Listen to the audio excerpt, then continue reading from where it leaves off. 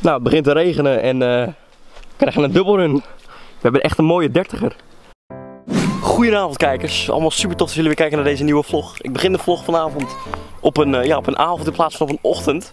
En we zijn er even een dagje tussenuit geweest, naar Bordeaux geweest, dus niet veel gevist. Maar goed, we gaan de vlog meteen goed beginnen, want ik kom aanlopen. En meteen staat er open van Delano hier met een kromme hengel in zijn handen. En die heeft dan een ja, best wel leuk schubje.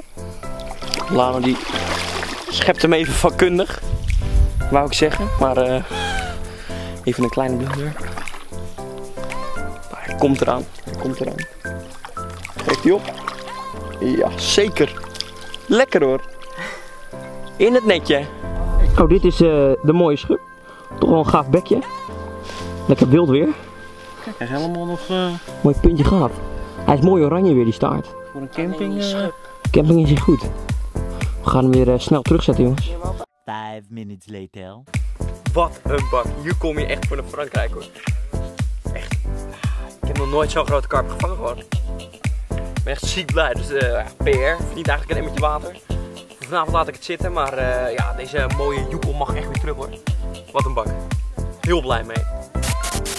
Nou, dat was weer dit avondje vissen. Zoals jullie zien, het is weer redelijk donker geworden. Dus eh, ja, de oppervlakte vissen zit er niet meer in. Piepertje ligt nog even in. We geven hem nog eh, 10 minuutjes. Nou, mocht ik dus een vis vangen in die 10 minuten of de Lano of Marcel, dan eh, melden we ons uiteraard weer. Mocht dat niet zo zijn, dan zie ik jullie eh, morgenochtend weer. Nou, goedemorgen kijkers, daar zijn we weer. Zoals jullie zien, mijn hengeltjes liggen net in. En de Lano maakt hier zijn tweede hengeltje klaar.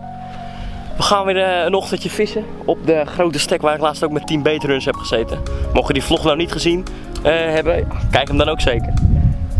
Eh, ja, de hengels liggen in en eh, het is nog, valt nog mee hoe druk het is. Net, eh, het zonnetje is net op, dus ja, we gaan kijken wat het, wat het brengt. Het is mooi bewolkt. Als het zo blijft, dan verwacht ik dat de vangsten goed zijn. Dus ik zie jullie zo bij de eerste vis. Nou jongens, ik denk dat we nog geen 5 minuten bezig zijn. Ik leg mijn eerste hengel op mijn steun. Ik ben bezig met mijn tweede hengel en hij gaat al. Deze kwam vanaf het Aqua Lodge ding. Leuk schubje, kleintje. Maar we gaan hem eventjes op de foto zetten. Nou, daar is het dan het eerste schubje van de ochtend. Het kostte wat pijn en moeite, maar eh, ja, daar is hij. Klein maar fijn, wel mooi hoog gebouwd. Is nog wel een ja, mooi visje, alleen de staart en de bek zijn wat minder. Qua beschubbing en kleur is hij ook wel ja, best oké. Mooie oogjes nog. De rugvin is ook nog perfect. Dus eh, ja, ze mag weer zwemmen. De eerste is binnen, lekker. Nou, het is weer ietsjes later. En ineens gaat Hengel van Delano er vandoor. Mooie spiegel. Wel weer klein, maar wel weer eh, ja, een mooie strijder. Lekker eh, rustig is deze. Die spiegels zijn over het algemeen rustiger dan de schubs. Best wel een mooie schubpatroon heeft deze ook. Mooie schubjes op zijn buik. dan mag ze weer zwemmen. Naar de natuurlijke habitat. Hatje. Nou, dat is al nummer 2. Op naar nummer 3. Nou jongens, de hengel gaat er nu toch wel wat beter vandoor als net. Niet zo'n uh, piep piep run, maar echt een volle fluiter. Resulteert in toch wel een mooie schub. Echt nog wel een mooie vis. Deze rugvinnen en de andere vinnen zijn al best wel perfect. Mooi gekleurd. Ja, alleen de bek is weer een beetje verrot. Maar uh, ja, ik ben echt heel blij met deze vis. Echt een uh, mooitje. Nou, het begint te regenen en we krijgen een dubbelrun. We hebben echt een mooie dertiger. En ik heb weer een visje van 5 kilo. En de lag echt een 30 centimeter visje weer. Vanaf de overkant kwam weer een goede run, die van mij ook. Dus uh, we gaan eventjes daar de onthaakmatjes bij elkaar leggen. Jullie weer even op een statiefje zetten. En uh, dan gaan we ze even jullie laten zien. Twee schubjes. Dus ja, toch wel mooie visjes. Lekker. Dus zijn we dan met onze twee schubjes. Ik toch wel weer een mooie. Mooi hoog gebouwd. En de lag nou met een piepklein visje. Dit zijn ze. Kijk klein. Ja, echt heel klein. Ah, lekker. Ik ga de andere kant ook nog even laten zien. Ja, ze zijn wel aardig rustig. Die van jou niet. Die van mij zijn altijd druk, jongen.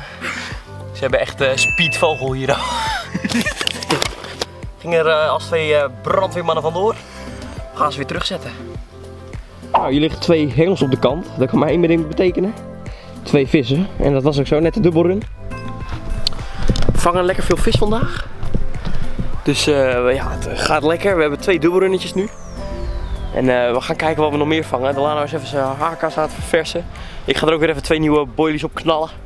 En eh, ja, de hengels weer ingooien. Tenminste, het systeem uitgooien. Maar niet hengels natuurlijk, die moeten we op de kant houden. Fransman daar aan de overkant, die heb ik een paar boilies gegeven. Die vangt nu ook vis. Ja, het linkje van Beetseluze staat hieronder eh in de beschrijving, zodat je ook een keer je boilies kan bestellen. Ik ga er nog even op kijken of ik wat vis op kan vangen. En eh, ik zie jullie zo weer. Nou kijkers, het is denk ik eh 20 minuutjes later. En deze vis die zat nog best wel goed op de boilies, want hij scheidt allemaal uit. Beetje allemaal hetzelfde formaat, hetzelfde kaliber. Nou, nog kleine tips die ik jullie mee wil geven. Zorg altijd, zeker met dit soort temperaturen hier in Frankrijk, dat je altijd een emmertje water naast je hebt. Hou je vis goed nat. Beschadigt die slijmlaag niet, dan kan hij gewoon weer netjes terug zoals je hem ook gevangen hebt. Zodat ook andere vissers hem nog kunnen vangen. Nou, ik ga hem weer snel terugzetten. En eh, ik zie jullie zo. Five minutes later. Nou, we krijgen weer een volle fluiter en uh, tevens een dubbelrun. Ik sta deze af te drillen en uh, de andere hengel gaat. Dus daar staat mijn vader even mee in zijn handen. Want ik wilde deze vis jullie wel graag laten zien. Ik weet niet of jullie het goed zien. Maar deze is echt bijzonder zwart. Ben bijna nooit zo blij met zo'n klein visje. Maar met deze ben ik wel, uh, wel blij. Dus ze mag weer zwemmen. Nou jongens, dit is het andere visje van de dubbelrun. Ook weer een schubje. Het is echt schubbedag voor mij vandaag. Volgens mij is dit nummer uh, 6 voor mij en 9 van de dag vandaag. Ga kijken hoeveel we er nog bij kunnen vangen, maar het verveelt nog niet. Nou, ik ben hier dus mijn hengels aan het beazen. En waar ik nou mee vis? Nou, gewoon weer een beetje in hetzelfde systeem als de hele tijd. Alle twee hetzelfde. Hetzelfde richtjes van de Jellywire. Met het tungsten line. Uh, wel twee verschillende soorten haka's. Uh, wat ik nu voor de los ga proberen, ik ga de hengels omdraaien. Dus ik ga met mijn linkerhengel nu op mijn rechtersteun gooien en mijn rechterhengel op mijn linkersteun. Um, daarbij draai ik dus ook de boilies om, kijken of het haas nou uitmaakt of de plek. Dus we gaan nu kijken of het andersom ook werkt. Nou, het is weer wat later en we hebben weer een mooie spiegel. Dit keer voor de Lano. Ging op de hengel van Marcel, maar de Lano krijgt de eer om ermee op de foto te gaan. Het zou zomaar dezelfde kunnen zijn als die we vanochtend ook weer hadden. Het zou wel toevallig zijn. Wel weer een mooie oranje achterkant. Nou, daar gaat ze weer, spiegel. Pam. Lekker hoor. Blij mee? Ja. Mooi. Zoals ik eerder heb gezegd, laat je beneden even weten in de reacties hoeveel je denkt dat het er gaat worden. Uh, en dan zal ik in de reacties zetten hoeveel het uiteindelijk zijn geworden. Dus uh, ja, we gaan nog eventjes door. De hengeltjes liggen nog in. We gooien het laatste hengeltje ook nog even terug. En uh, kijken of we nog een mooie bakker uit kunnen halen. Nou jongens, het, blijkbaar heeft het hengels omdraaien geen zin. Het gaat echt om het aas. Weer op de Royal Flush. Leuk schubje. De vis in het water is nou helemaal niet zo groot. Maar goed, ze zijn ook allemaal wild. Deze gaat weer snel zwemmen. Lekker. A few moments later. Goed, nu zijn we weer. Dit keer dus de hengel van de Lano die net ging. Weer een leuke schub. Lekker. Ja, de Lano was zelf de boilies halen, maar hij kwam net op tijd binnen dat hij nog net even de hengel op kon pakken. Dus uh, ja, mooi visje, mooi schubje. Ben je een beetje blij mee? Ja. Lekker ouwe. We gaan we kijken of die uh, de hengel weer snel ingooien en of die nog een keer afloopt. Moet lukken. Weer een leuke beschupte vriend. Maar dit is niet de enige vis. Oei, we krijgen weer een piepje. We hebben namelijk nog een hele mooie spiegel in de sling zitten. Die ging voor de kant. Dus uh, ja, die gaan we zo ook even laten, aan jullie laten zien. De kaart zit alleen vol bijna. Dus we gaan deze vissen er even opzetten. Die vis die, uh, ja, die halen we zo voor de camera als we het kaartje even leeg hebben gemaakt. Maar ja, deze schub ging er ook weer lekker vandoor. Vangen echt veel vis. Ik weet niet, 15 of zo hebben we er nu iets. Misschien wel meer. 20. 20 al. Geen idee. Jullie kunnen het allemaal natellen in de vlog. Laat even in de reacties weten hoeveel je er al hebt gezien. En hoeveel het er worden. Dus uh, ja, we gaan hem weer snel terugzetten. Nou, dit is dus de wilde spiegel uh, vanuit de sling. Ging er vandoor. Keihard op een uh, Nest Citrus waftertje. 2 meter uit de kant.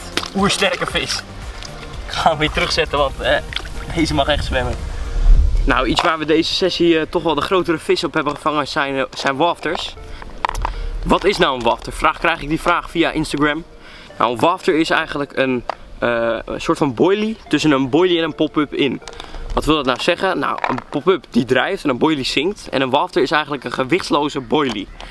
Nou, als je dus je normale boilies om een wafter heen voert, dan zal de vis deze veel makkelijker op kunnen nemen. En eh, ja, zal de inhaking dus ook vaak veel beter zijn. Nou, dat is dus even een, eh, nog een klein iets wat ik jullie graag wilde vertellen. Want ja, we vangen er toch wel wat grotere vis mee vandaag. Nou, gebruik ze zeker eens een keer. Er zijn verschillende varianten, dus eh, ja, probeer het. Nou, wat er nu toch gebeurt. Ik ben de vis eh, van Delano aan het ophaken in het water, in het net. En mijn net eh, vliegt uit mijn spruitblok. En die vis die denkt, hey, doei doei. Dus die peert hem. Ik was wel weer af vanavond. Nou, ik sta nu toch in het water voor die spiegel. En eh, ik was even het kaartje legen en deze schub gaat er ook vandoor. Dus eh, ja, lekker. Die hele hengel stond krom hoorde ik. Hengels liggen weer in. Deze mag weer zwemmen.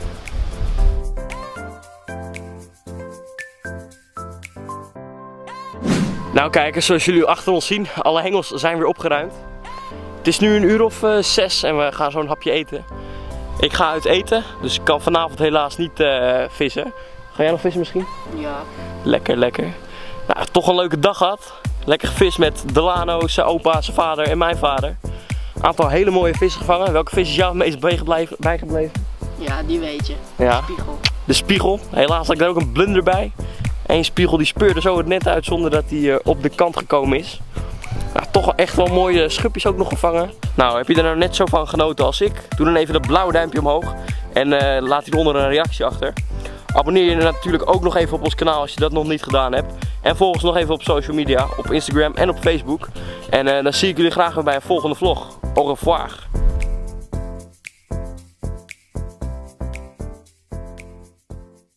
Doei doei!